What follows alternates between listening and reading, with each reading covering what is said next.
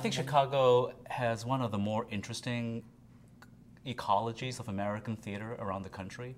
The fact that it's basically more interesting in terms of its diversity of aesthetics.